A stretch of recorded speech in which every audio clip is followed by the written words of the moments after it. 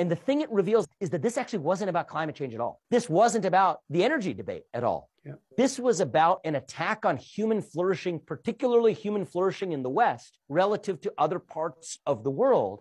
And the problem with nuclear energy, for example, is that it might actually solve the energy crisis, even the clean energy demand, too effectively. And the problem is once you've solved the problem, then you lose the Trojan horse to pack in all of the other social agendas. You also lose the opportunity to exercise your unearned moral superiority. Yeah, exactly. And God exactly. only knows you don't want to give that up.